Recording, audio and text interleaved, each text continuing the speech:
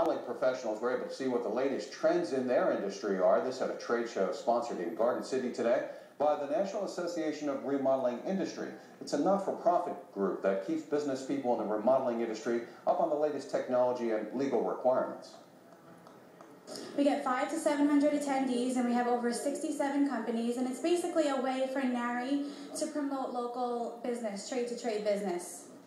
And today, builders had the chance to see the latest products from more than 100 vendors. All right, time now to find out what